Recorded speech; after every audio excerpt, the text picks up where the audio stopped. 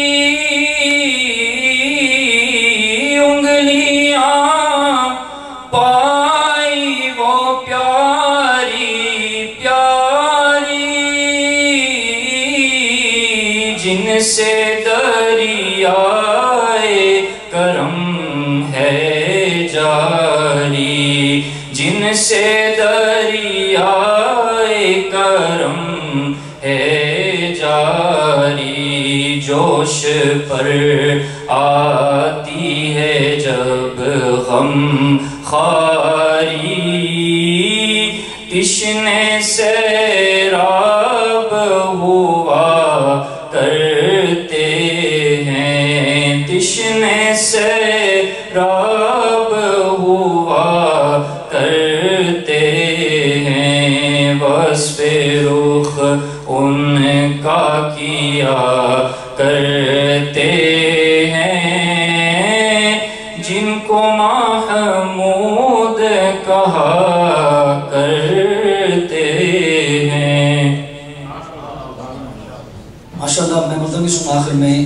احمد حمزہ بیمانی صاحب سے کہ وہ آئیں اور مولانا حسن اللہ خان صاحب کی لکھی ہوئی اہل بیت کی شان نمن قد پیش کروائیں حمزہ بیمانی۔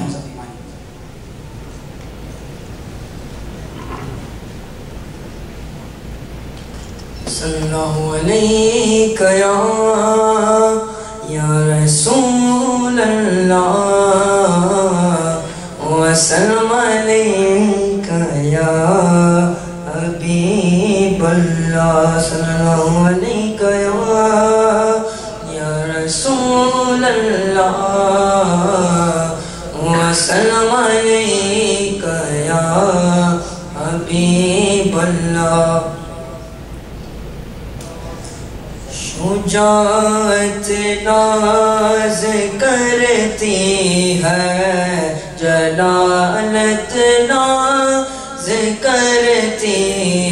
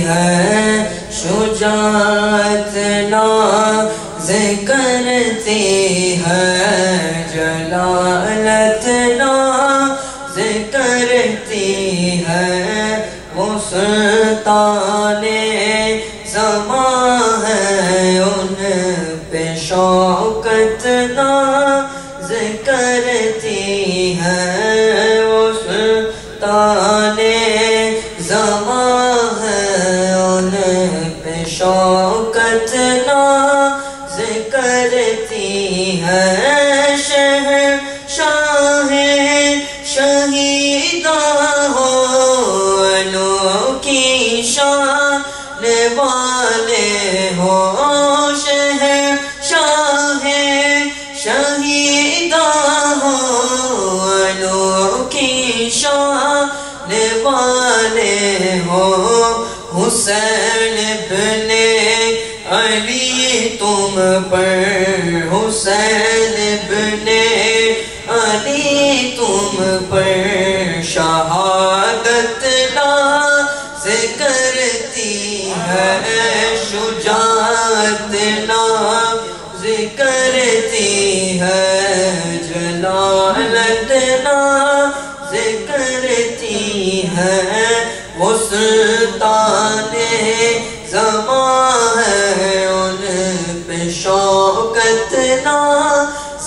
کرتی ہے۔ بٹھا کر شاہ لائے اقدس پہ کرتی شاہ دو بالا بٹھا کر شاہ لائے اقدس پہ کرتی شاہ دو بالا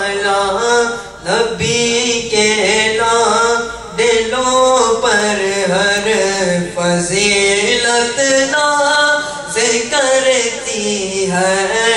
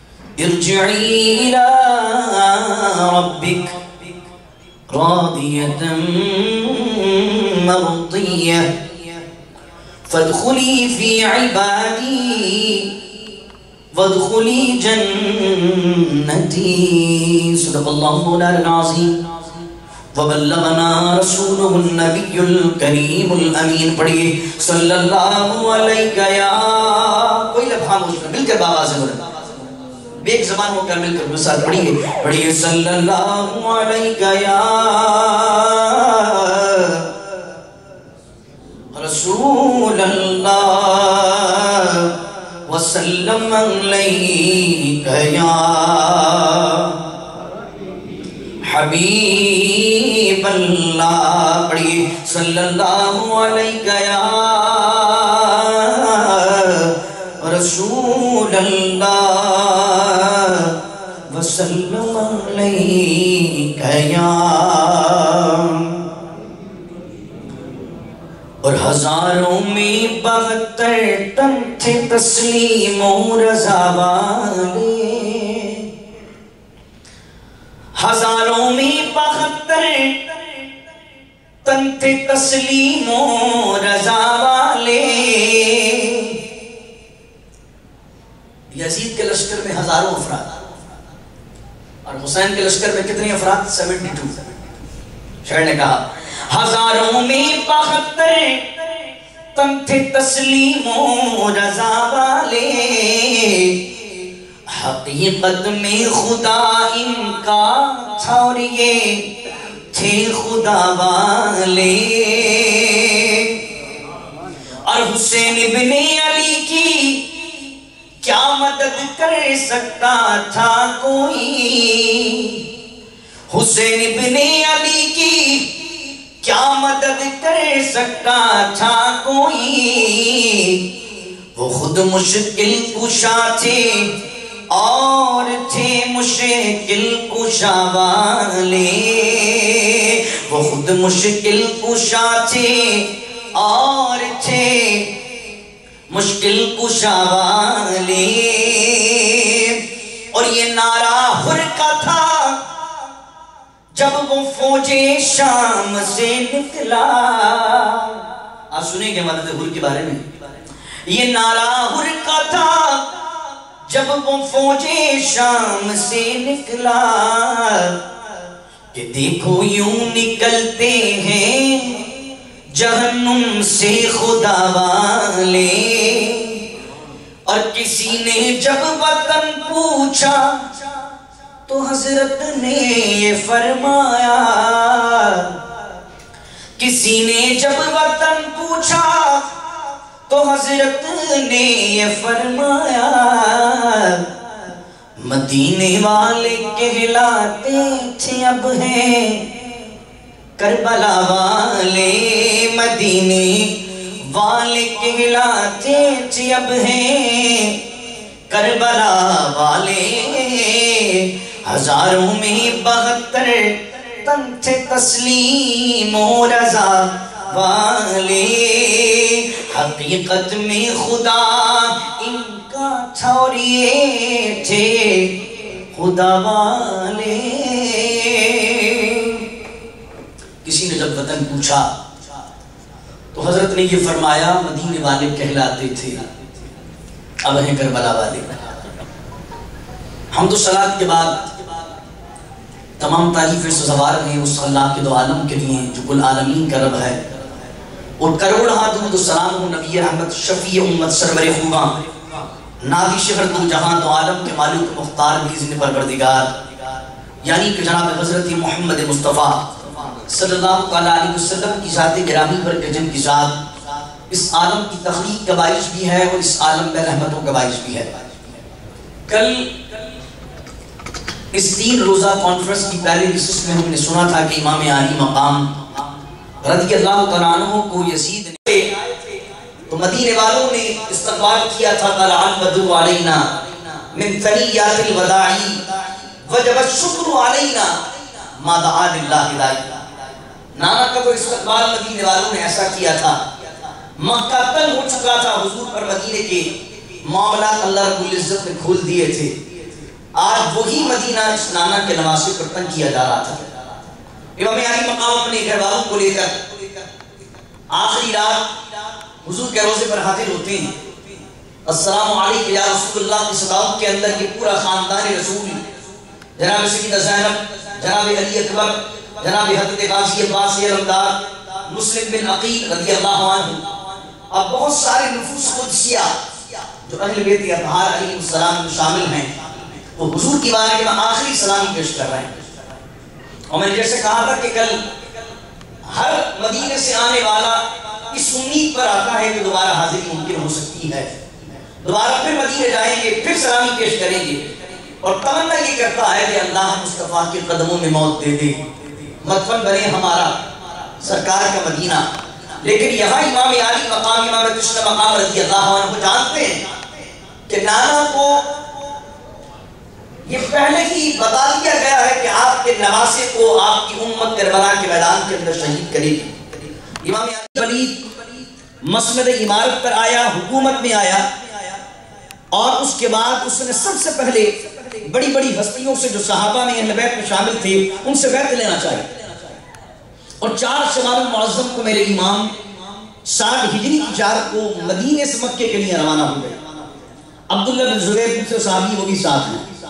عبداللہ بن زبیر رضی اللہ تعالیٰ عنہ بھی حضور علیہ السلام کے نواسے بھی امام علی مقام بھی مکے پہنچتے ہیں اور یہاں سے عبداللہ بن زبیر بھی یزید کی بیعت نہیں کرتے وہ مکے پہنچتے ہیں۔ یہ عبداللہ بن زبیر کون ہے؟ عبداللہ بن زبیر حضرت عائشہ صدیقہ طیب طاہرہ رضی اللہ تعالیٰ عنہ کے بھانجے حضور علیہ السلام نے امام مسلم نے نقل کیا حدیث بات کو۔ حضور علیہ السلام نے جناب سید عائشہ صدیقہ رضی اللہ عنہ سے ایک بار فرمایا، اے عائشہ، اگر تیری قوم نئی نئی ایمان نہیں لائی ہوتی، تو میری خواہش تھی کہ میں کعبے میں دو دروازے بناتا۔ اور یہ تیری قوم کے لوگوں نے کعبے کے دروازے کو اونچا بنایا ہے، تاکہ جس کو چاہیں اندر داخل کر سکیں اور جس کو چاہیں اپنی منمانی سے داخل نہ ہونے تو میری چاہت یہ ہے کہ کعبے کا دروازہ نیچے ہو اور ادھر سے لوگ داخل ہو اس سائڈ پر ایک اور دروازہ، جہاں سے لوگ واپس جائیں۔ لیکن تیری قوم ابھی نئی نئی ایمان لائی۔ ابھی اگر چینجنگ ہو جائے گی، تو اس صورت کے اندر ہو سکتا ہے ان کے دل میں کچھ بات آئے۔ اس لیے حضور علیہ السلام نے حکمت کے تحت چینج نہیں کیا؟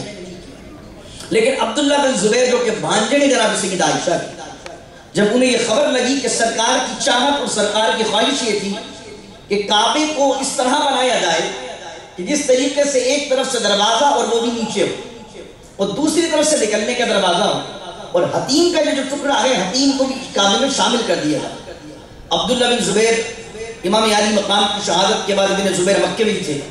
تو مکے کے اندر انہوں نے دوبارہ کعبے کو بنایا اور کعبے کو کس طرح بنایا کہ کعبے کے اندر دو دروازے بنا دیے اور کعبے کے دروازے کو نیچے کر دیا تاکہ ایک سے بندہ داخل ہو اور دوسری طرف سے نکل جائے۔ کعبے کے اندر بھی چلے جاتے ہیں۔ ہمارا اس بندے کی سوچتا ہے، یار، کتنے خوش نصیب ہیں? کوئی تو عمل ان کا ایسا ہوگا۔ یہاں کوئی کے عمل کی بات نہیں ہے۔ رسول اللہ کی چاہت یہی تھی کہ کعبے کے دروازے کو نیچا بنایا جائے اور کعبے میں کتنے دروازے ہوں؟ دو دروازے ہوں۔ تاکہ ہر بندہ کیونکہ رب کی بارگاہ میں تو کوئی خاص کوئی عام نہیں۔ رب کی بارگاہ کے اندر تو کوئی سیٹ اور کوئی امیر، کوئی غریب نہیں۔ سرکار یہ چاہتے تھے کہ کعبے میں دو دروازے ہوں، کعبے کا دروازہ اتنا اونچا نہ ہو کہ سیڑھی لگا کے جانا پڑے۔ لیکن اب دیکھیں آپ، تعلقات کی بنیاد پر سعودی حکمران بڑے بڑے سیٹھوں کو، سرمایہ داروں کو، حکمرانوں کو اندر لے کر جاتے ہیں۔ لیکن لیکن میرا وجدان اور میرا ذوق کہتا ہے کہ میرا رب بڑا کریم ہے، وہ جانتا تھا کہ قبضہ کس کا آنا ہے، حکومت کس کی آنی ہے۔ اس نے حتیم کا ٹکڑا بچا کر رکھا کہ اگر عام آدمی، غریب آدمی کعبے کے اندر نہ جا سکے تو حتیم کا ٹکڑا موجود ہے حتیم میں اندر آ کر دو رکعت پڑھ لے، اس نے کعبے میں ہی نماز پڑھی۔ اللہ رب العزت نے ایک حصے کو اوپن چھوڑ دیا، اس پہ دروازہ نہیں بنایا، تاکہ ہر خاص وہاں آ کے وہاں نماز پڑھ ورنہ اگر وہ بھی حصہ ایک ہو جاتا، تو یہ سعودی حکمران ہمیں جانے دیتے۔ یہ تو ہمیں جو اردو بولنے والے ہیں، جو باہر کے لوگ ہیں، عجمی ہیں، جو کہ عربی نہیں ہے یہ تو ان کو بعض اوقات ایسے کچھ لوگ ہیں کہ وہ انسان بھی نہیں سمجھتے۔ تو یہ اگر کعبہ پورا پیک ہو جاتا تو یہ اندر جانے دیتے۔ لیکن رب کا بڑا فضل ہوا کہ کعبہ ایک طرف سے تو پیک ہے، ایک طرف سے خالی ہے۔ تاکہ اگر تم امیر ہو عمرہ ہو، تمہارے تعلقات حکومت سے تو تم سیڑھی لگوا کر اندر چلے جاؤ۔ اور تمہیں حسرت سے عام مسلمان نہ دیکھے کہ رب نے اس کے لیے حتیم کا ٹکڑا چھوڑا ہے۔ وہ باہر آ کر لبیک کہہ دے گا، بالکل اسی طرح ثواب ملے گا جس طرح کسی نے کعبے کے اندر جا کر لبیک پڑھا۔ ابن زبیر نے یہ کام کیا تھا۔ عبداللہ بن زبیر امام علی مقام رضی اللہ تعالیٰ عنہ مکے پہنچنے کے جب مکے پہنچے تو کوفے والوں کو خبر لگی کہ امام علی مقام مکے پہنچ چکے ہیں؟ انہوں نے خط لکھنا شروع کی۔ ایک خط آتا، پھر دوسرا قاصد دوسرا خط لے کر آتا، تیسرا قاصد تیسرا خط لے کر آتا۔ اور وہ کہتے، حضور، یزید بڑا ظالم ہے، فاجر ہے گیملر ہے، محرمات سے نکاح کو حلال کرتا ہے، حرام کاریاں کرتا ہے، عیاشیاں کرتا ہے، بڑا بدذات آدمی ہے۔ حضور ہم اس کی بیعت کرنا نہیں چاہتے۔ آپ خاندان رسول کے جشن و چراغ اس سرزمین پر رسول اللہ کا آپ کے علاوہ کوئی نواسا موجود نہیں ہے۔ آپ خاندان رسول کے جشن و چراغ ہیں۔ آپ وہ ہیں کہ جن کے بارے میں حضور نے فرمایا کہ حسین تو جنتی جوانوں کا سردار ہے۔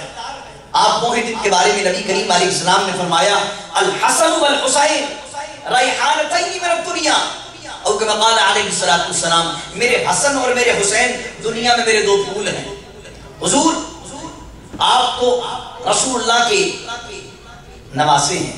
ہم چاہتے ہیں کہ آپ ہماری طرف آئیں اور ہماری تلواریں یزید کے خلاف نکل جائیں اور ہم آپ کی بیعت کریں اور آپ کو امیر المومنین بنائیں۔ خط اتنی زیادہ تعداد میں آتے ہیں اور خط کے حال میں لکھا ہوگا کہ وہاں کوفے کے اندر سلیمان بھی سب کے مقام پر ہو کر آپ کی یاد میں لوگ روتے ہیں۔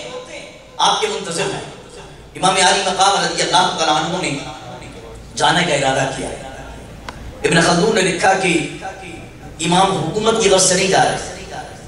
کیونکہ انہیں معلوم تھا کہ یزید جب مدینے کے اندر زور زبردستی کروا سکتا ہے، تو وہ کعبے کے اندر ایک بندے بھیج کر زور زبردستی کروا سکتا ہے۔ لیکن آپ نے فرمایا، میرے بابا نے کہا تھا کہ سرکار نے فرمایا اللہ ایک مینڈے کے ذریعے سے کعبے کی حرمت پال ہوگی۔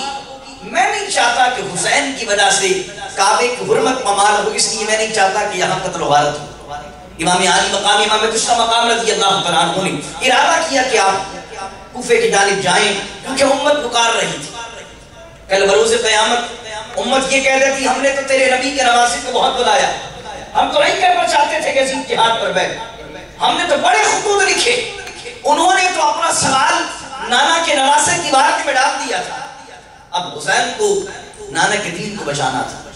تاکہ رہتی دنیا تک مثال قائم ہو جائے کہ اگر تم اقلیت میں بھی ہو اور ظالم اکثریت میں بھی ہو، تو حسینیت یہ ہے کہ اقلیت میں ہو کر بھی ظلم کے خلاف آواز بلند کی۔ جائے امام علی مقام، امام تشرا مقام رضی اللہ عنہ نے جب بہت سارے خطوط آنے لگے امام علی مقام نے یہ ذل حجہ کا حج کا مہینہ ہے اور آپ نے کوفہ جانے کا ارادہ کیا۔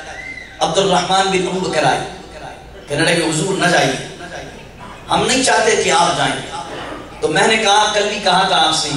کہ جو نہیں گئے، انہوں نے رخصت کو اختیار کیا۔ اور جو چلے گئے، انہوں نے عصیبت کو اختیار کیا۔ کیونکہ وہ خاندان رسول ہیں، آل محمد ہیں، آل رسول ہیں۔ دین میں ان کی ذمہ داری زیادہ ہے۔ دین چلا ان کے گھر سے ہے۔ امام علی مقام رضی اللہ تعالیٰ عنہ نے جانے کا ارادہ کیا۔ عبداللہ ابن عباس حضور کے چچا کے بیٹے ہیں۔ وہ آئے اور آ کر رونے لگے امام علی مقام سے گلے رکھ کر اور وہ کہنے لگے، اے میرے حسین، اے میرے شہزادے اے میرے بھائی، اگر مجھے پتا ہو کہ میرے پکڑ لینے سے، اگر میں تمہیں زور سے پکڑ لوں اور تم میرے پکڑنے سے نہ جاؤ، تو میں یہ بھی کر گزروں۔ لیکن مجھے معلوم ہے تمہارا ارادہ بڑا مسمم ہے۔ تمہارا ارادہ بڑا مضبوط ہے۔ تم وہاں پر امت کی بقا کے لیے جانا چاہتے ہو۔ لیکن میں چاہتا ہوں کہ تم اپنے بیوی بچوں کو لے کر نہ جاؤ۔ کہیں ایسا نہ ہو کہ عثمان غنی کی طرح تمہیں بھی ان کی اولاد اور بچوں کے سامنے قتل کر دیا جائے۔ امام علی مقام رضی اللہ تعالیٰ عنہ دکھانا چاہتے تھے کہ بندے کو زندگی میں عزیز کیا ہوتی ہے؟ یا تو اولاد عزیز ہوتی ہے یا اپنی جان عزیز ہوتی ہے۔ امام دکھانا چاہتے تھے کہ حسین نانا کے دین کے لیے صرف اپنی جان قربان نہیں کرے گا، بلکہ اپنا جوان علی اکبر بھی لے کر آ رہا۔ ہے اپنا ننا علی اشکر بھی لے کر آ رہا۔ ہے اپنا بھائی عباسی رمضان بھی لے کر آ رہا۔ ہے تاکہ نانا کی امت کو پتہ چل جائے کہ دین کے لیے قربانی دیکھنا آل محمد نے سکھایا۔ قربانی کس طرح دی جاتی ہے؟ یہاں پر تو قربانی دینے کی باری آئے، تو لوگ پیچھے بھاگ جاتے ہیں۔ اچھائی کے وقتوں میں سب ساتھ ہوتے ہیں، بھلائی کے وقتوں میں سب ساتھ ہوتے ہیں، لیکن آزمائش کے وقت اگر قربانی مانگی جائے دین قربانی مانگتا ہے۔ اور اس کی مثال امام علی مقام نے دکھائی۔ ابھی یہ سارا قافلہ امام علی مقام رضی اللہ تعالیٰ عنہ کی معیت کے اندر، ان کے ساتھ کے اندر امام علی مقام رضی اللہ تعالیٰ عنہ کوفے کی طرف رما رما ہوتے ہیں۔ کچھ آگے چلتے ہیں۔ امام علی مقام رضی اللہ تعالیٰ عنہ، امام تشتہ مقام رضی اللہ تعالیٰ عنہ قافلہ ساتھ ہے۔ کچھ لوگ آپ کے ساتھ ہو جاتے ہیں۔ اور یہاں تک کہ میں تفصیلات نہیں جانا چاہتا کیونکہ وقت بڑا مختصر ہے۔ اور وقت اتنا زیادہ نہیں ہے کہ ہم انڈیویجل ایک ایک واقعے کو مفصل بیان کر سکیں، کیونکہ آج ہمیں شہادت امام حسین علی مقام رضی اللہ تعالیٰ عنہ بیان کرنی ہے۔ امام علی مقام رضی اللہ تعالیٰ عنہ امام تشتہ مقام کربلا کی جانب رما دما ہے۔ قافلے والوں نے کہا کہ شاید اس ریگستان میں کچھ درخت نظر آتے ہیں۔ لیکن امام نے کہا یہ درخت نہیں ہے، یہ سامنے سے کوئی قافلہ آ رہا ہے۔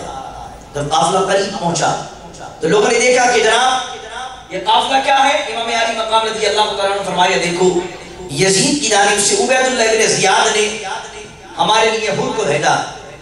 حضرت حر رضی اللہ تعالیٰ عنہ آئے اور کہنے لگے، حضور، پہلے وہاں پر نعمان بن بشیر کوفے کے گورنر تھے۔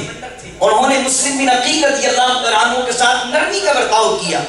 امام مسلم بن عقیل رضی اللہ تعالیٰ عنہ کے ساتھ نرمی کا برتاؤ کرنے کی وجہ سے یزید نے ابن زیاد کو، ابن مرجانہ کو کوفے کا گورنر بنا دیا ہے، وہ چاہتا ہے کہ میں آپ کو یہاں روک دوں اور آپ سے یزید کی بیعت لی آپ نے کہا، اگر یزید کی بیعت کرنی ہی ہوتی تو نانا کا مدینہ چھوڑتے کیوں؟ اگر بیعت ہی کرنی تھی تو یہاں تک اپنے اہل و عیال کو لانے کی حاجت ہی کیا تھی۔ لیکن میری بات سنو، ایسے فساد کی، ایسے ظالم و جابر آدمی کی مجھ جیسے آدمی کو بیعت گوارا نہیں ہے۔ میں اپنے ارادے سے پیچھے نہیں ہٹنے والا، لیکن ہاں تجویز پیش کرتا ہوں۔ اگر کوفے والوں کے دل پھر گئے ہیں، کوفے والے اب ساتھ نہیں ہیں۔ امام مسلم بن عقیل کے واقعے میں نے اس لیے چھوڑا کہ وہ بڑا مقصد واقعہ امام مسلم بن عقیل جب پہنچے کوفے کے اندر، تو عربی کے اندر ایک مقولہ ہے الکوفی لا یوفی۔ کوفے والے وفادار نہیں ہوتے۔ انہوں نے جناب مولا کائنات علی مرتضی کے ساتھ بھی بے وفائی۔ انہوں نے امام حسن مشتبہ کے ساتھ بھی بے وفائی۔ کی مسلم بن عقیل کے ہاتھ پر اٹھارہ ہزار کے مجمع نے بیٹھ کی اور کہا کہ آپ امام علی مقام کو بلا لیجیے خط لکھ دیجیے حضرت مسلم بن عقیل نے خط لکھ دیا، امام واپس کربلا کی طرف آ گئی اب اٹھارہ ہزار نے وہاں بیعت کی، لیکن مسلم بن عقیل رضی اللہ تعالیٰ عنہ عبید اللہ بن زیاد نے کوفے کے بڑے بڑے عمراء کو، امیروں لوگوں کو جمع کیا اور عمراء کو جمع کر کے اپنے محل میں جمع کیا اور کہا، دیکھو اگر تم نے میری بات نہ مانی، تو میں تم سب کو قتل کروا دوں گا۔ اب انہوں نے ابن زیاد کے گورنر ہاؤس سے اعلان کیا اپنے رشتہ داروں کو۔ اب اٹھارہ ہزار کا مجمع، گورنر ہاؤس کے باہر کھڑا ہے، مسلم عقیل کے ساتھ یہ گورنر ہاؤس کی کھڑکیوں سے وہ امیر، کبیر لوگ کوفے کے بڑے بڑے تاجر لوگ، انہوں نے اپنے رشتہ داروں کو آواز دی۔ دیکھو تمہیں ہماری رشتہ داری عزیز ہے کہ نہیں؟ ہم مار دیے جائیں گے۔ ہمارا کاروبار تباہ ہو جائے گا۔ ہمارا نام خراب ہو جائے گا۔ اٹھارہ ہزار کا مجمع مسلمین عقیل کے ساتھ اور جب کوفے کے گورنر ہاؤس کی کھڑکیوں سے ان تاجروں نے، ان عمراء نے جھانکا اور اپنے رشتہ داروں کو آواز دی تو عصبیت کی بنیاد ذات پات کی بنیاد پر انہوں نے حق کو چھوڑ دیا اور مسلم بن عقیل کے ساتھ صرف تیس بندے رہ گئے۔ کتنے بندے؟ ہمارے بعض اوقات بندہ حق کا ساتھ رشتہ داریوں کی وجہ چھوڑ دیتا یہ جناب رشتہ داری ہے۔ کہاں جائیں گے اگر ہم فلاں کام میں ہاتھ ڈال دیا، فلاں مسئلہ کر لیا تو ہماری تو رشتہ داریاں خراب ہو جائیں گی۔ لیکن یہاں دیکھیے کوفے والوں نے بھی یہ کیا کہ جب اٹھارہ ہزار کے مجمع نے مسلم بن عقیل کے ہاتھ پر بیعت کی اور امام حسین علی مقام رضی اللہ عنہ خط لکھوا دیا اور پیچھے سے اپنی بات سے بھر گئے۔ تیس بندے مسلم بن عقیل کے ساتھ۔ اب یہ جناب حضرت حر کے ساتھ جب خبر پہنچی مسلم بن کی شہادت کی، تو ان یہ شہادت کی خبر پہنچ رہی ہے کہ حضور اٹھارہ ہزار لوگوں نے خط کو لکھ دیا تھا۔ لیکن جب خط آپ تک پہنچا ہے، وہ اٹھارہ ہزار اپنی بات سے مکر گئے۔ اور مسلم بن عقیل اب نماز پڑھنے کے لیے تیس بندوں کو لے کر گئے۔ مسلم بن عقیل نے نماز کی امامت شروع کی، اللہ اکبر۔ قرات کی نماز پڑھائی اصل کی نماز کی سلام پھیرا ہے۔ سلام پھیرا ہے تو مسلم اکیلے ہی نماز کو ختم کرنے والے ہیں۔ وہ تیس بندوں کی سب کی ختم۔ وہ تیس بندے کے نہیں۔ اٹھارہ ہزار کا مجمع۔ اور اب امام مسلم بن رضی اللہ عنہ سلام پھیرتے ہیں تو ایک بندہ بھی امام مسلم بن عقیل کے ساتھ دینے کے لیے نہیں ہے۔ اللہ اکبر، اب ہانی بن عربہ کے مکان پر رضی اللہ عنہ۔ ہانی بن عربہ آپ کو بنا دیتے ہیں۔ اور ہانی بن عربہ کے مکان پر آپ جا کر رہتے ہیں۔ ہانی بن عربہ کو بھی ابن زیاد بلاتا ہے۔ انہیں قتل کر دیتا ہانی بن عربہ کے مکان پر پھر حملہ ہوتا ہے اور اس طریقے سے مسلم بن عقیل کو پکڑا جاتا ہے۔ المختصر مسلم بن عقیل کو جب پکڑا گیا اور آپ کے ہاتھ سے تلوار لی، تو اشخص نے دیکھا کہ مسلم بن عقیل ہونے لگے۔ تو اشخص کہنے لگا کہ جو اتنی جابازی سے آتا ہے اور اتنا بڑا اس کا کوز ہوتا ہے وہ روتا نہیں ہے۔ آپ کیوں رو رہے ہیں جب آپ آئے تھے مسلمانوں کی حمایت کے لیے، تو اب آپ کو رونا نہیں چاہیے۔ تو مسلم بن عقیل کہتا ہے، میں اپنے لیے نہیں روتا۔ میں رہتا ہوں، روتا ہوں تو اپنے بھائی حسین کے لیے روتا۔ میں روتا ہوں تو اپنے بھائی حسین کے لیے روتا ہوں کہ میں انہیں خط لکھ چکا ہوں کہ یہاں سب ساتھ ہیں۔ انہیں نہیں معلوم کہ یہاں جنگ کا ارادہ ہے۔ وہ تو اپنے ننے علی اصغر کو لے کر جا چل چکے ہیں۔ ان کے ساتھ تو جناب شکیدہ زینب کبرا بھی ہیں۔ ان کے ساتھ تو جناب معصوم سکینہ بھی ہیں۔ ان کے ساتھ تو عوان و انصار کی ایک تعداد ہے۔ وہ تو اپنے گھر والوں کے ساتھ کوفے والوں پر اعتبار کر کے نکل چکے ہیں۔ اللہ اکبر۔ مسلم بن عقیل رضی اللہ عنہ کہتے ہیں، میں روتا اپنے لیے نہیں۔ میں روتا ہوں تو حسین کے لیے ہوتا۔ کہ اب حسین تو یہاں آنے والے ہیں۔ اب یہ ساری بات حضرت حر جب پہنچی تو حر نے یہ ساری بات امام علی مقام کو بیان کی۔ امام علی مقام رضی اللہ عنہ نے فرمایا، اگر کوفے والوں کا مجھ سے ارادہ بدل گیا ہے تو مجھے کہیں اور جانے دو۔ یا میں تم سے لڑ کر تم مسلمان کلمہ پڑھنے والے ہو، میں تمہارے خلاف تلوار اٹھاؤں گا، مجھے کسی سرحد پر جانے دو۔ میں کافروں سے لڑ کر اسلام کی اشاعت کروں گا اور اسلام کی ترقی کو بڑھاؤں گا۔ تم مجھ سے کیوں لڑ رہے ہو؟ اگر ان اب یہ اتمام حجت کر رہی امام کہ میں نہیں چاہتا تلوار چلانا۔ میں نہیں چاہتا کہ تم پر حملہ کر دیا جائے۔ امام مسلم بن عقیل رضی اللہ تعالیٰ عنہ کی یہ خبر یہ جب پہنچی۔ حضرت حر نے کہا کہ حضور مجھے وقت دیجیے کیونکہ اتھارٹی میرے ہاتھ میں نہیں ہے، ابن زیاد کے ہاتھ میں۔ نماز کا وقت ہوا۔ امام نے کہا، امام علی مقام کہنے لگے، حر، تم اپنی نماز کرا لو، ہم اپنی نماز کرائیں گے۔ تو حضرت حر کہنے لگے، حضور، آپ حضور کے نواسے ہیں۔ یہ کیسے ممکن ہے کہ ہم الگ امام بنا لیں؟ حضرت حر کہنے لگے، حضور مسلح پر آپ کھڑے ہوئیے، آپ کے پیچھے ہم نماز پڑھیں گے۔ اب حضرت حر ابھی معاملہ بنا رہے ہیں۔ دل میں نرمی ہے، جانتے ہیں کلام نے کون ہے حضور کے نواسے ہیں کہ اتنے میں عبید اللہ بن زیاد، جو کہ گورنر ہے، یزید کی طرف سے کوفے کا۔ وہ ایک قاصد کو بھیجتا ہے اور کہتا ہے، جا کر حر کو کہو کہ اتنی زیادہ نرمی حسین کے ساتھ نہ دکھائے۔ اور اگر اسے تم نے جانے دیا، کیونکہ ان کا کیا خوف تھا؟ انہیں خوف تھا کہ حسین کی شخصیت کی پرسنالٹی وہ ہے کہ حسین اگر جنگل میں بھی قدم رکھیں گے، وہاں بھی عوام کا ہجوم لگ جائے گا۔ وہاں بھی برکت لینے والے جوک در جوک امام علی مقام کے پاس آئیں۔ انہیں معلوم تھا حسین کو چھوڑنا نہیں ہے۔ حسین کہیں بھی چلے جائیں نواز رسول ہے امت برکت کے لیے حسین کے قدموں میں پہنچے گی۔ انہیں معلوم تھا کہ حسین کو نہیں چھوڑنا ہے، کیونکہ چھوڑ دیا ہے تو یہ اکیلا علی کا لال ساری یزیدیت پر بھاری ہے۔ امام علی مقام، امام تشکر مقام رضی اللہ تعالیٰ عنہ نے فرمایا، مجھے جانے دو۔ اگر ان کے دل میں نہیں چاہتا مسلمانوں کے خلاف تلوار کو بلند کروں، اللہ اکبر۔ اب یہاں قاصد آیا۔ اور قاصد نے آ کر کہا، اے حر عبید اللہ بن زیاد کہتا، زیادہ نرمی نہ دکھاؤ۔ اور اس نے کہا ہے، میں جب تک تجھ سے الگ نہ ہوں، کہ جب تک تو امام کے ساتھ یہ ڈائلوگ کرے کہ تو آپ جو ہے وہ یزید کی بات کر رہے یہاں پیچھے سے ابن زیاد نے جب دیکھا کہ وہ حضرت حر نرمی کر رہے ہیں تو عمر بن سعد کو، ابھی عمر بن سعد کون ہے؟ حضرت سعد بن نبی وقاص رضی اللہ تعالیٰ عنہ کا بیٹا ہے۔ صحابی کا بیٹا۔ لیکن کیا ہے؟ بےمانی دل میں کیا ہے؟ کہ ادھر ابن زیاد نے کہا کہ تجھے اگر تو حسین پر حملہ کرے، پہلے جب کہا کہ جا کے امام علی مقام سے لڑ، تو کہنے لگا کہ یہ کیسے ممکن ہے کہ میں رسول اللہ کے نواسے پر تلوار چلاؤں؟ ابن زیاد نے کہا، اگر تو وہاں لڑنے جائے گا، تو جو جو ایک صوبہ ہے رے، میں رے کی گورنری تیرے حوالے کر دوں گا۔ لالچ، حکومت اب یہ دیکھیں جب حکومت کا لالچ آیا تو اس بدبخت نے صحابی کا بیٹا دیکھیں جناب والا، بدبختی ایسی تاری ہوئی عمر بن سعد پر کہ عمر بن سعد امام علی مقام سے لڑنے کے لیے کربلا کے میدان میں جا پہنچا۔ حضرت خور رضی اللہ تعالیٰ عنہ کو پیچھے کیا اور لے کر آیا ایک ایک خط اور کہنے لگا کہ ابن زیاد نے ہر تجھے معذور کر دیا ہے۔ اب یہاں کی عمارت سے اس لشکر کی سلاری سے کہ کیوں تو بلندی بہت دکھا رہا۔ اب یہاں عمر بن سعد سے گفتگو ہونے لگی۔ سات محرم آنے والی ہے۔ عمر بن سعد سے گفتگو جاری ہے۔ عمر بن سعد سے بار بار گفتگو ہونے لگی۔ اب عمر بن سعد کے دل میں بھی نرمی آئی کہ حسین بات تو ٹھیک کہتے ہیں کہ کوفے والوں نے خط لکھ کر بلایا تھا۔ عمر بن سعد کہنے لگا کہ ہمیں کو خبر ہے کہ آپ کو کسی نے خط لکھ کر نہیں بلایا۔ ابن خلدون نے اپنی کتاب، تاریخ ابن خلدون نے لکھا کہ امام اپنے خیمے میں گئے اور خیمے میں سے بہت سارے تھیلے نکال کر آئے۔ اور آپ نے عمر بن سعد کے سامنے ان تھیلوں کو کھول دیا۔ ابن خلدون نے لکھا کہ زمین پر کوئی جگہ ایسی نہیں تھی جس پر خط نہ پڑے ہوں۔ امام نے کہا، میں ایک خط پر نہیں آیا، میں دو خط پر نہیں آیا، میں چار خطوں پر نہیں آیا، مجھے چار پانچ بندوں میں نہیں بلایا تھا۔ سارے کوفے والوں نے اتنے خط لکھے۔ نانا کی امت نے بلایا، تبھی آیا۔ نہ مجھے صدارت کا شوق ہے، نہ مجھے حکومت کا شوق ہے۔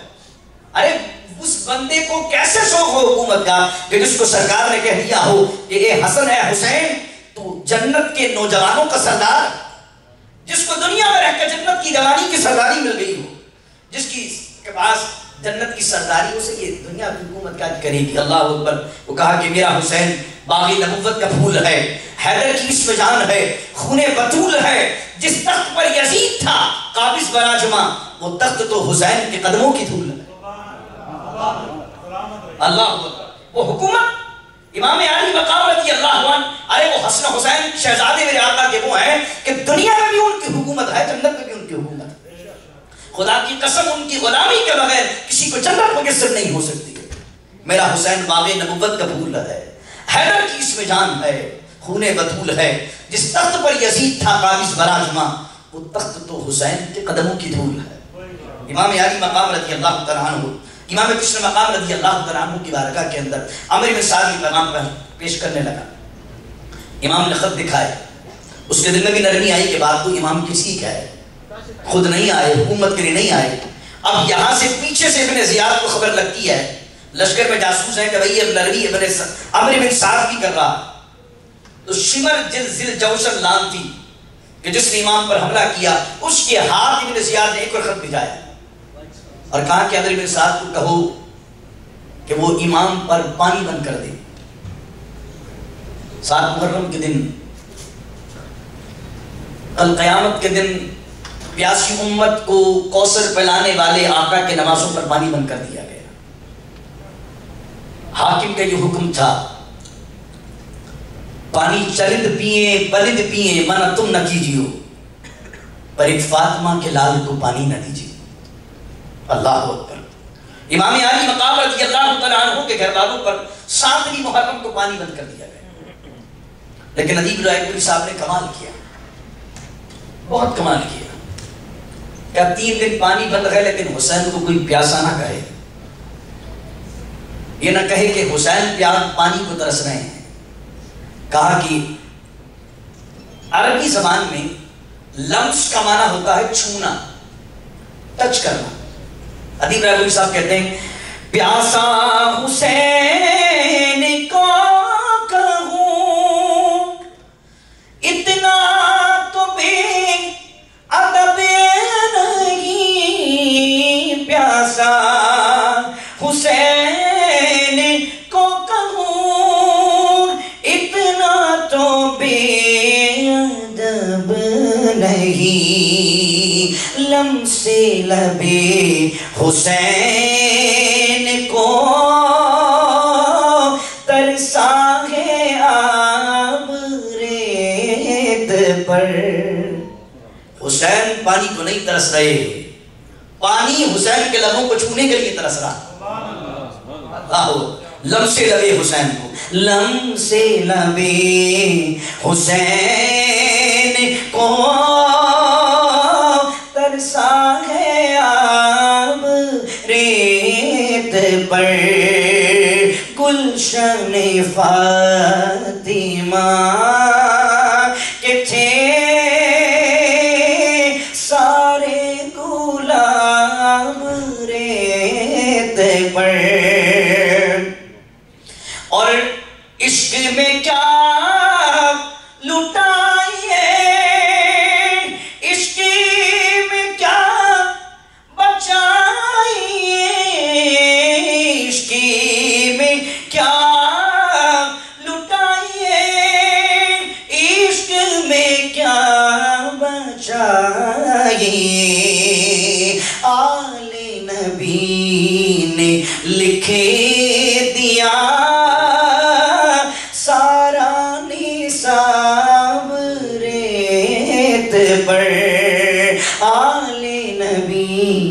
حسین بتا گئے کہ خدا سے عشق ہو تو بچانا کیا ہے؟ لٹانا کیا ہے؟ حسین بتا گئے اللہ اب یہاں پر تین دن پانی بند ہے۔ اب وہ دن بھی آیا، نو محرم کی رات۔ اگلے دن دسویں محرم ہے عاشورے کا دن ہے۔ امام علی مقام رضی اللہ تعالیٰ عنہ سے عمر بن سعد کہتا ہے کہ جنگ کے لیے تیار ہو جائیے۔ میرے امام کہتے ہیں کہ ہمیں ایک رات کی مہلت چاہیے کہ ہم اس پروردگار کی بارگاہ میں دل بھر کے سجدہ کریں، استغفار کریں۔ موت کا وقت قریب ہے اور خدا کی یاد سجدے اتنے حسین کو محبوب ہیں کہ اللہ اکبر یہاں سجدوں کے لیے پوری رات مانگی جا رہی ہے۔ اللہ اکبر، میری ماں جناب سیدہ مخدومہ کائنات سیدہ فاطمہ الزہرا سلام اللہ علیہ کی نمازیں ان کے سجدے کیسے کہ میری بہنیں سن رہی ہیں اللہ ہمیں سیدہ کی سیرت پر عمل کرنے والی بچیاں عطا کرے۔ اللہ اکبر۔ ہماری بچیوں کو مخدومہ کا صدقہ عطا کرے۔ سیدہ جب رات میں سجدے کرتی، اور جب صبح ہو جاتی، تو اللہ کی بارے میں تڑپ کر کہتی، مالک، تیری راتیں بڑی چھوٹی ہیں۔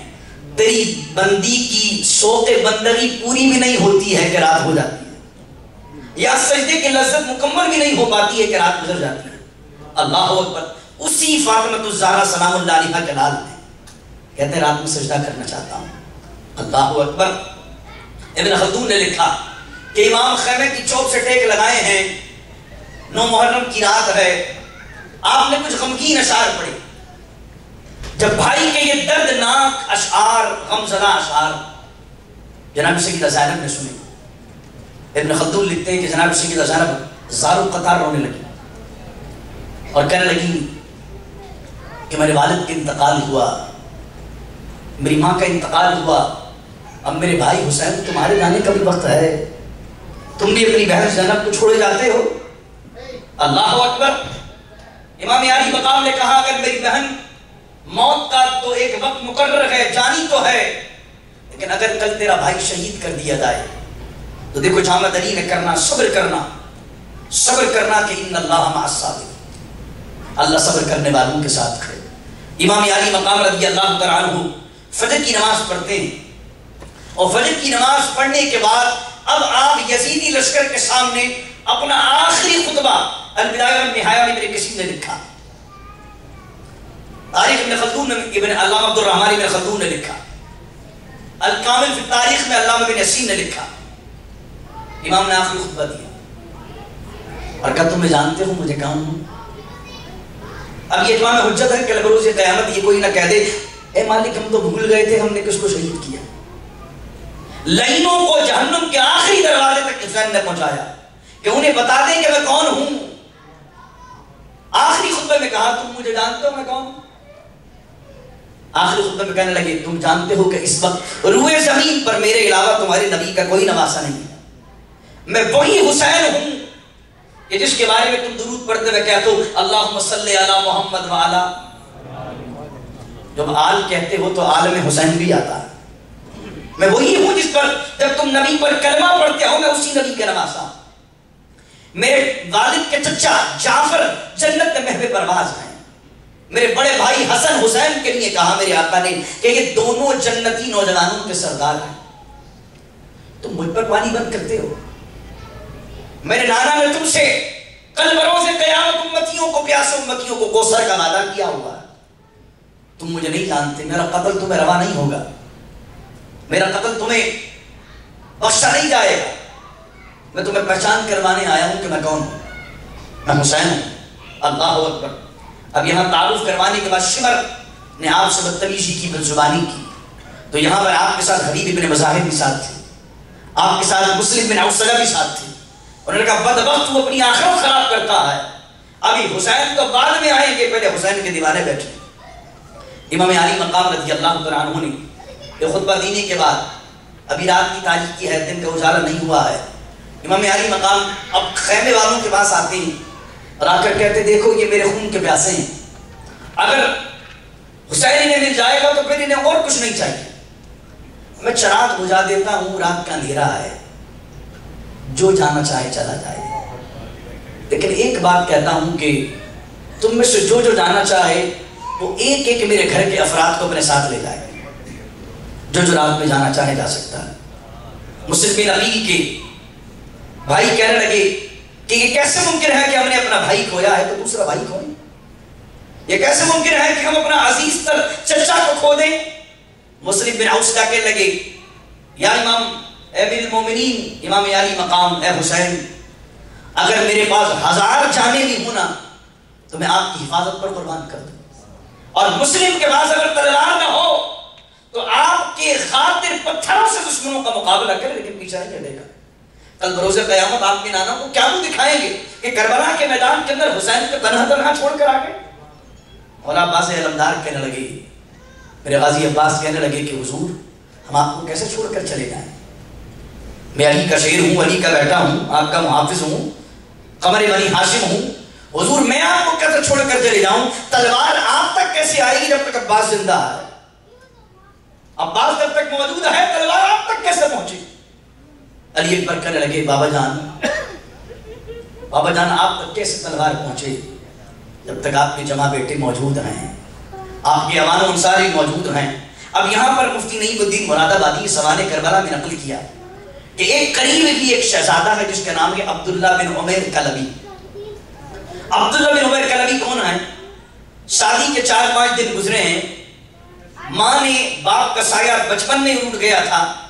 اب ماں نے اس اکلوتے بچے کو پال پوس کر بڑا کیا ہے۔ چار دن شادی ہو چکے ہیں۔ اب ماں کو پتہ چلتا ہے ماں خادمہ ہے مخدومہ کی۔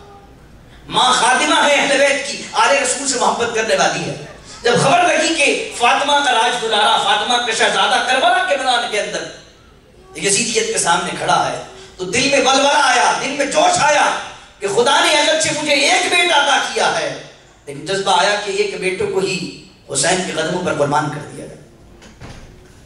بلاتی ہے ماں عبداللہ بن عمیر کلبی کو اور کہتی ہے کہ میرا بیٹا، میں نے آج تک تجھ سے کبھی اپنے دودھ کا حق نہیں مانگا۔ میں نے تجھ سے کبھی یہ نہیں کہا کہ تیری ماں نے تجھے اکیلا پال پوسٹ بڑا کیا ہے، لیکن آج وہ حق مانگنے کا وقت آ گیا ہے۔ قریب کربلا کے میدان میں جناب سیدہ فاطمہ الزہرا کا شہزادہ اپنے ننے ننے بچوں کے ساتھ یزیدیت کے سامنے کھڑا ہے۔ میرا تو ایک بیٹا ہے، میرے دل میں آل رسول کی محبت کے وہ جذبہ ہے کہ رب نے مجھے اگر دس بیٹے بھی دیے ہوتے، میں ایک ایک کر کے حسین کے قدموں پر قربان کر دیتی۔ لیکن تو ایک ہی ہے، میں چاہتی ہوں کہ تو اپنی جان حسین کے قدموں پر قربان کر دے۔ وہ کہنے لگا ماں تیری تربیت ہے، دودھ تیرا پیا ہے۔ غلامی کا پٹا تو ہمارے گلے میں بھی حسین کا ہی ہے۔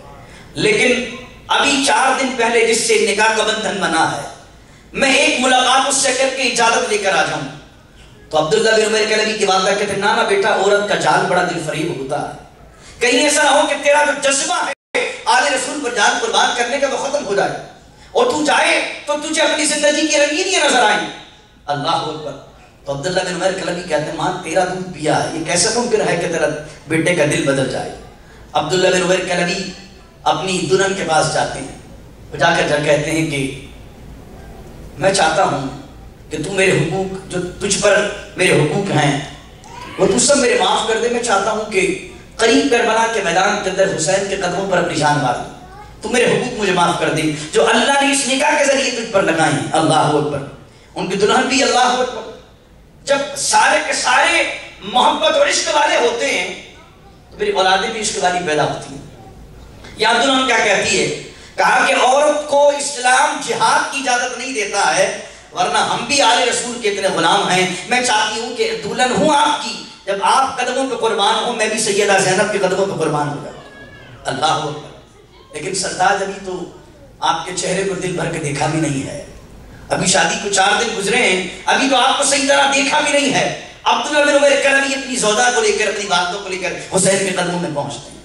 امام علی مقام قدموں میں یہ مانا کر کہتی ہے کہتی ہے، یا امام، میرا ایک ہی شہزادہ ہے، چار دن شادی کو ہوئے ہیں۔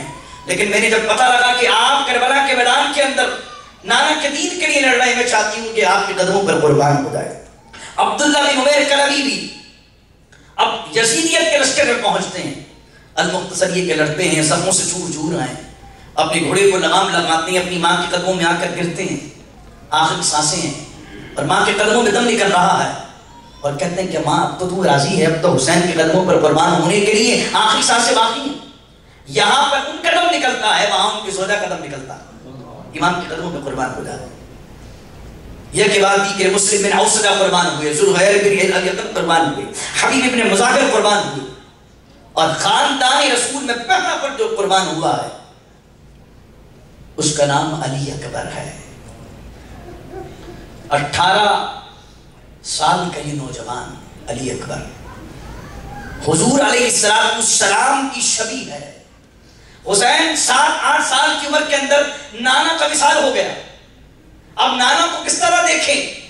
اللہ نے حسین کو علی اکبر کی صورت میں سبھی مصطفیٰ عطا کیا۔ حسین جب بھی علی اکبر کو دیکھا کرتے، نانا یاد آیا کرتے۔ علی اکبر کو رخصت کر رہے ہیں اللہ اکبر۔ علی اکبر رخصت ہوئے، گھوڑے پر سوار ہوئے۔ آگے چلے۔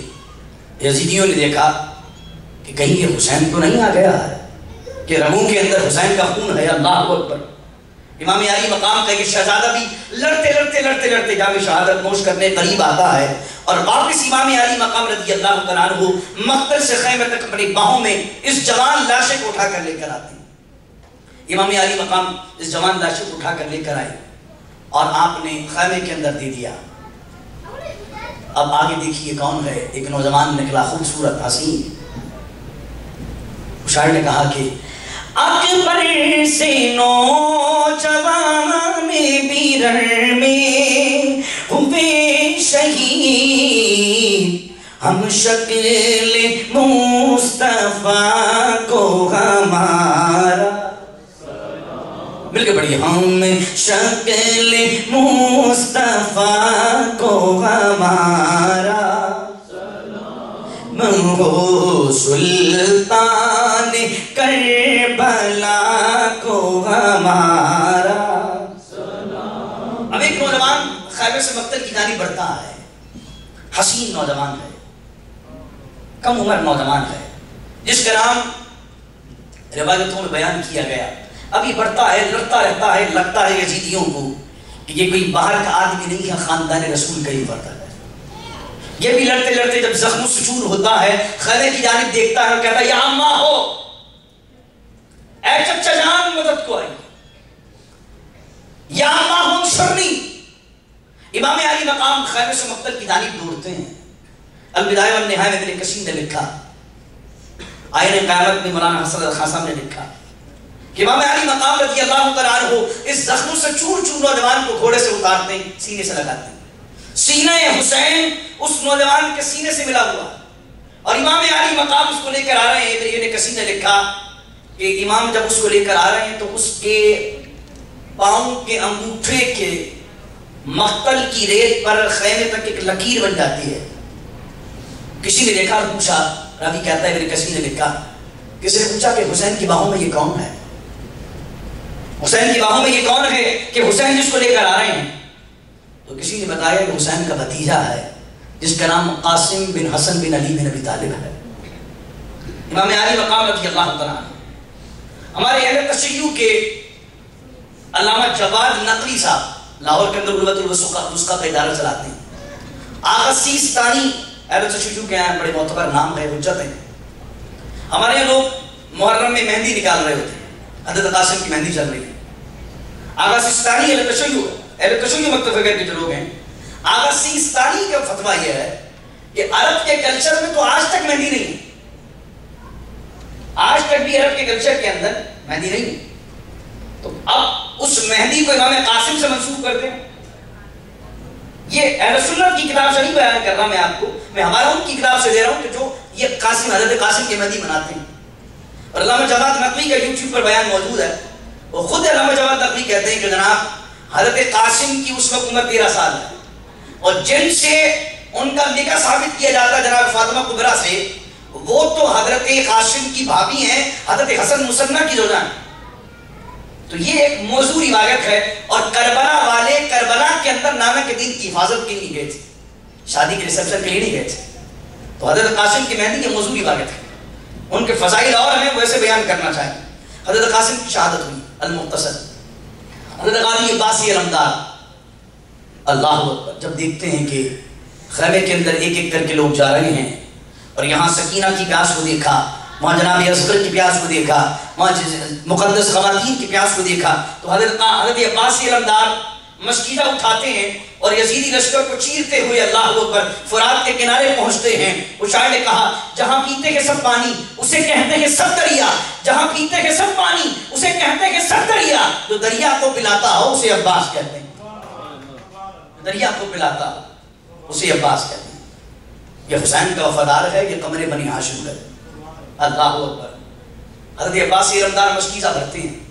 اور مشکیزہ بھر کے راحت سکینہ کی پیاس یاد ہے۔ گھوڑے کو پلاتے ہیں، گھوڑا نہیں پیتا، خود پینا چاہتے ہیں۔ چلو تک پانی لاتے ہیں، کہتے ہیں، عباس جب ہی پیئیں گے، جب حسین پہلے پیئیں گے۔ یہ کیسے ممکن ہے کہ حسین کے حلق میں قطرہ نہ پہنچے؟ جناب سیدہ سکینہ رضی اللہ عنہ۔ جناب سیدہ سید علی اصغر رضی اللہ تعالیٰ عنہ کے حلق میں قطرہ نہ پہنچے اور عباس پہلے پی لے۔ اللہ اکبر یہ واپس آتے ہیں اور واپسی آتے ہوئے یزید کی تیر اور نیزے لگتے ہیں۔ اور یہاں تک کہ زخموں سے چور چور ہو کر پہلے ایک بازو شل ہوتا ہے، پھر دوسرا بازو شل ہوتا ہے۔ اور پھر آپ اپنے دانتوں کے اندر مشکیزوں کو پکڑ لیتے ہیں۔ اور پھر ایک تیر آتا ہے، مشکیزے پر لگتا ہے۔ اور مشکیزے پر لگ کر سارا پانی نیچے بہتا ہے۔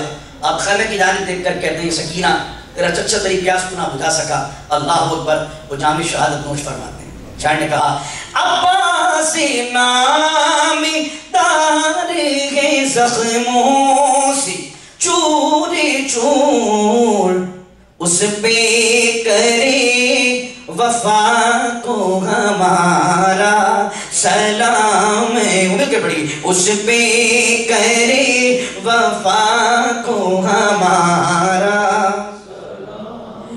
ہو سلطان کربلا کو ہمارا۔ آوان انصار شہید۔ المختصر کروں میں بات۔ آج مجھے شہادت بیان کرنی ہے۔ آوان انصار سب شہید ہو گئے۔ آخر بچے کون؟ علی اوسط۔ امام سجاد۔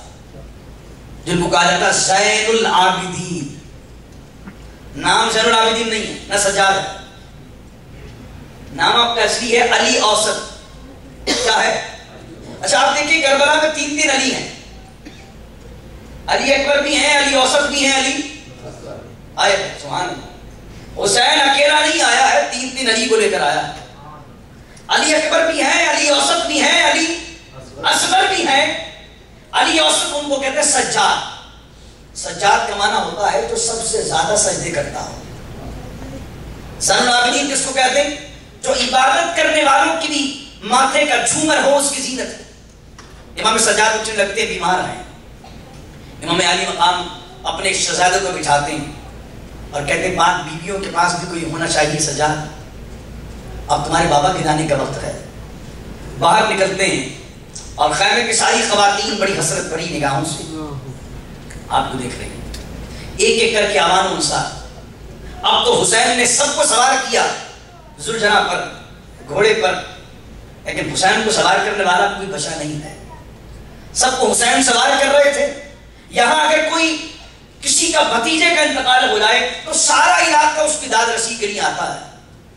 نوجوان آ کر کہتے ہیں بھان جا کر کہتا ہے، چچا، پریشان نہ ہوں، میں آپ کے بھتیجا بن کے دکھاؤں گا۔ اگر بیٹے کا انتقال ہو جائے، تو بعض اوقات دوست کا بچہ آ کر کہتا ہے، چچا، پریشان نہ ہوں۔ آپ کا بیٹا گیا ہے، میں آپ کا بیٹا بن کے دکھاؤں گا۔ لیکن حسین جب مقتل جا رہے ہیں، کوئی کہنے والا یہ بھی نہیں ہے۔ کیونکہ بھانجے بھی شہید ہو چکے ہیں، بھتیجے بھی شہید ہو چکے ہیں، بیٹے بھی شہید ہو چکے ہیں۔ آج اولاد کا غم کسی کا ایک بیٹا مر جائے، پوچھئے اس کے، اس کی حالت کیا ہوتی ہے؟ سارا شہر بھی آ کر اسے اگر ہمدردی دے، اس کا درد نہیں جاتا۔ ہے لیکن امام علی مقام رضی اللہ تعالیٰ عنہ سارا کنبہ سارا خاندان قربان کرنے کے بعد عبد الجناب کو سوال میں ابن کثیر نے لکھا، الکامل فی تاریخ میں بھی ہے، ایک چھوٹی سی بچی امام کے قدموں سے آگے لپٹ جاتی ہے۔ الکامل فی تاریخ میں اللہ میں نصیر لکھتے ہیں کہ یہ بچی کون ہے؟ یہ بچی سکینہ ہے، رضی اللہ عنہ۔ اور کہہ رہے کہ بابا جان، سب جاتے ہیں خیمے سے مقتل۔ مقتل سے کوئی واپس نہیں آتا۔ اب تو خیمہ خالی ہو چکا ہے، میرا بھائی علی اصغر بھی گیا بھائی علی اکبر بھی گئے، چچا عباس بھی چلے گئے۔ جو خیمے سے مقتل جاتا ہے مقتل سے واپس نہیں آتا۔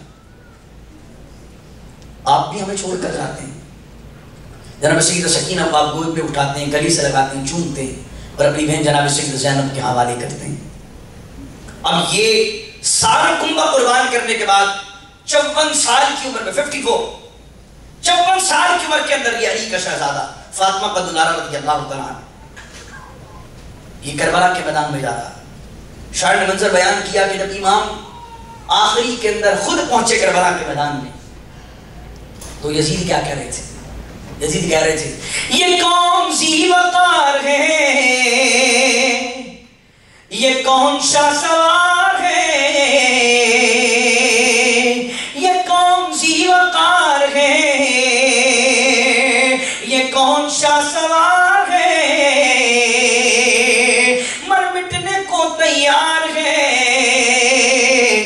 لباس ہے پھٹا ہوا، لت کٹا ہوا، تمام جسم نازنی چھڑا ہوا، کٹا ہوا، یہ پھر بھی ہے ڈٹا ہوا۔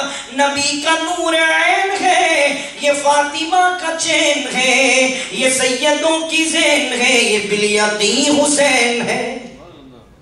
یہ کون سی وقار ہے؟ مر مٹنے کو تیار ہے۔ لباسی کے پٹا ہوا لگت لکٹا ہوا۔ تمام جسم نازنی چھڑا ہوا، کٹا ہوا۔ یہ پھر بھی ہے ڈٹا ہوا۔ نبی کا نور عین ہے، یہ فاطمہ کا چین ہے۔ یہ سیدوں کی زین ہے، یہ بلیقی حسین ہے۔ میرا حسین باغ نبوت کا پھول ہے، حیدر کی اس میں جان ہے، خون بطول ہے۔ جس تخت پر یزید تھا، قابض پر آجما وہ تخت تو حسین کے قدموں کی دھول ہے۔ امام علی مقام آگے بڑھتے جہاں جسم بھی علی کا شہزادہ ذوالفقار کو لے کر جاتا مجمع چھٹتا جاتا ہے۔ آپ سیدھے ہاتھ کی جانب بڑھتے ہیں کون ہے جو آگے بڑھ کر آپ کو شہید کرے؟ اور ہمیشہ کے لیے قیامت تک اپنا نام نامچیوں میں لکھوائے۔ کون ہے؟ یہاں تک کسی پر آواز لگاتا ہے کہ تمہاری ماں تم کو روئے۔ ہزاروں ہو کر بھی یہ علی کا ایک لاکھ تم سے سمجھتا۔ یہاں تک کوئی قریب نہیں آتا اور تیروں کی بارش امام پہ کی جاتی ہے۔ اللہ اکبر۔ ابن خلدون نے لکھا تینتیس بار تھرٹی تھری۔ تھرٹی تھری بار آپ کے جسم پر تیروں کے ہیں۔ تھرٹی فور بار آپ کے جسم پر نیزوں کے ہیں۔ امام علی مقام نے اس وقت بھی دیکھا کہ نماز کا وقت ہوا ہے۔ امام نے ایسی حالت میں بھی تینتیس بار تلواروں کے، چونتیس بار نیزوں کے امام علی مقام سجدے میں جاتے ہیں۔ اس سجدے میں جا کر کہتے ہیں اللہم انی اسألک الرداک بعد القضاء سبحان ربی اللہ اللہم انی اسألک الرداک بعد القضاء سبحان ربی اللہ اے میرے مولا، اے میرے مالک، اے میرے مولا، تیرا بندہ حسین۔ تیری رضا پر راضی ہے۔ مولا تو حسین سے راضی ہو جا۔ اتنا کنبہ قربان کرنے کے بعد بھی کیا کہتے ہیں؟ اے میرے مولا، تیرا بندہ حسین تجھ سے راضی ہے۔ سب کچھ قربان کرنے کے بعد بھی تجھ سے راضی ہے۔ میں اپنی بات کا اہتمام کرتا ہوں۔ سب کچھ قربان کرنے کے بعد بھی تجھ سے راضی ہے۔ سبحان ربی اللہ سجدے تو سب نے کیے۔ سب کا الگ انداز ہے۔ سجدے تو سب نے کیے۔ سب کا الگ انداز ہے۔ تو نے وہ سجدہ کیا جس پر خدا کو ناز ہے۔ نہ پوچھو کیسے کوئی شاہ مشرقین بنا۔ بشر کا ناز نبوت کا نور عین بنا۔ علی کا خون لعاب رسول شیر بطول۔ ملے گے جب یہ عناصر تو پھر حسین بنا۔ اللہ، ملے گے جب یہ عناصر تو پھر حسین بنا۔ امام علی مقام سجدے کے اندر ہیں۔ اور سر حسین رضی اللہ تعالیٰ پانچ منٹ اگر زیادہ ہو جائیں تو معذرت چاہتا ہوں لیکن میں یہ بات بیان کر کے اختتام کروں گا۔ امام علی مقام کے سر مبارک کو تانا جاتا ہے نیزے پر۔ جب نیزے پر آپ کے سر مبارک کو رکھا جاتا ہے اور حضرت زینب کبرا رضی اللہ تعالیٰ اور ان پاک بیویوں کو ایک ایک اونٹ پر تین تین پاک بیویوں کو بٹھایا گیا۔ اور جن کے لیے اللہ نے آیت تطہیر قرآن میں اتاری ہے، ان مقدس ہستیوں کی بے حرمتی کی گئی۔ مولانا حسن خان صاحب آئینہ قیامت میں لکھتے ہیں۔ کہ جناب جناب سیدہ زینب کا گزر ان کربلا والوں کے جسم سے پاس سے ہوا، ان کے لاشوں کے پاس سے ہوا۔ جب دیکھا کہ حسین رضی اللہ تعالیٰ یزید کے لشکر کے گھوڑوں نے امام علی مقام اور دوسرے کربلا والوں کی جسموں کو بھی پامال کیا، تو آپ نے مدینے کی جانب رخ کیا جناب سیدہ زینب نے۔ مولانا حسن خان صاحب لکھتے ہیں، آپ نے کہا، جناب سید زینب یا رسول اللہ یہ دیکھیے آپ کا حسین جس کو آپ کاندھوں پر بٹھایا کرتے تھے۔ رسول یہ وہی حسین ہے کہ جس کا سب سے لے کر پاؤں تک جسم خون کے اندر ہے۔ راوی لکھتا ہے، میرے کسی نے لکھا کہ راوی لکھتا ہے کہ اب کوفے کے بازاروں کے اندر یہ قافلہ جا رہا ہے۔ یزیدی کہہ رہے تھے حسین ہار گئے۔ اب راوی کا جملہ سنیے گا۔ اور اسی جملے پر میں جو ہے اختتام کی طرف جا رہا ہوں۔ راوی کہتا ہے کہ یزیدی کہہ رہے تھے حسین ہار گئے۔ راوی کہتا ہے کہ میں نے اس قافلے کو دیکھا، سروں کو دیکھا اور سروں میں سر حسین کو دیکھا۔ راوی کہتا ہے میں نے سر دیکھے پھر سروں میں سر حسین کو دیکھا۔ یزیدی تو کہہ رہے تھے حسین ہار گئے۔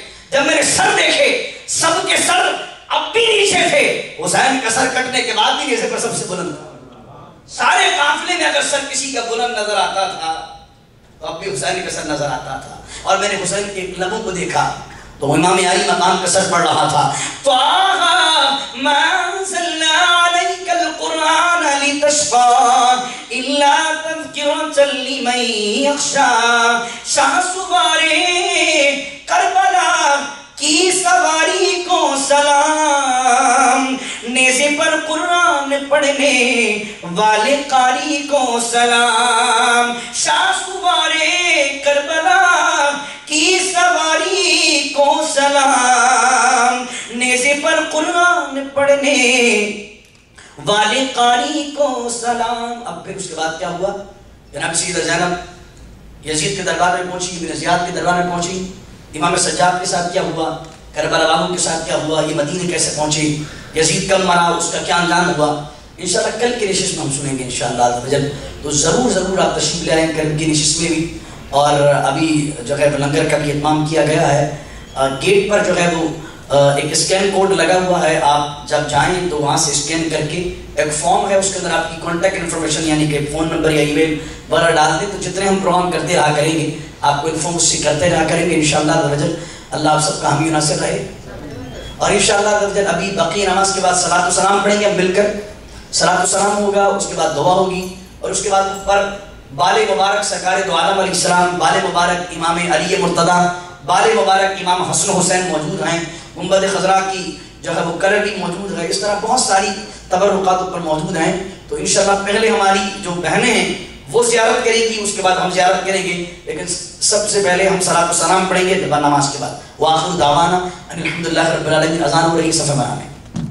یا حسین، السلام جن کا جھولا فرشتے جھلاتے رہے۔ لونیا جن کو نوری سلاتے رہے۔ لونیا دیکھ نوری سلاتے رہے۔ جن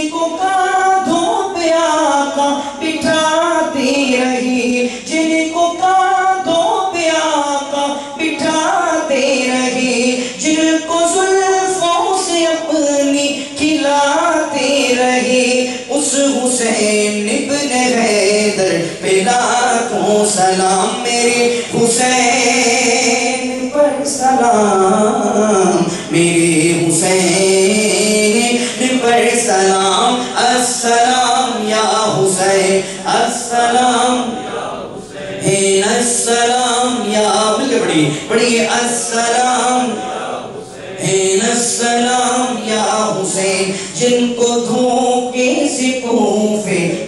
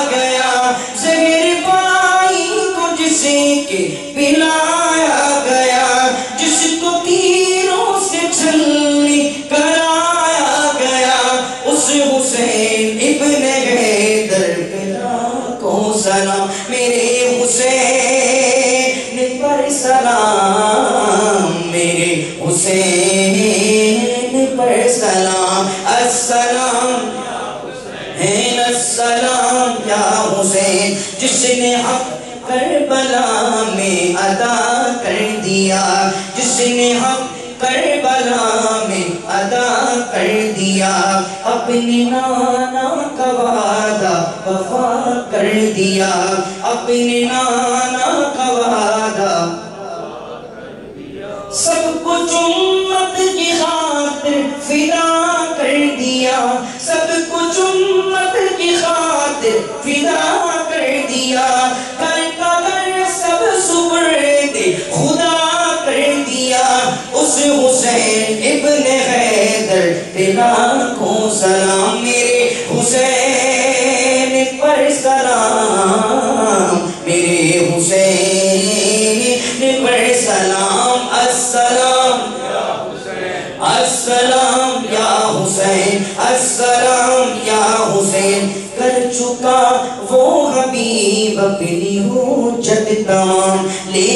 اللہ اور اپنے نانا کا نام کوفیوں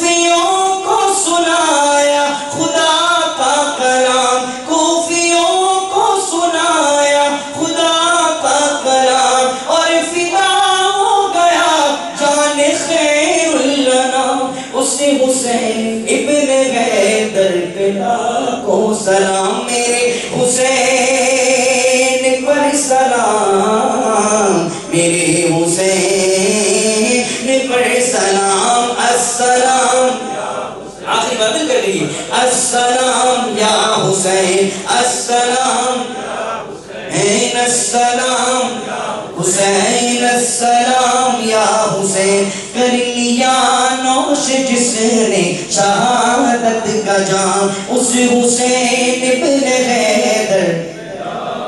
سلام۔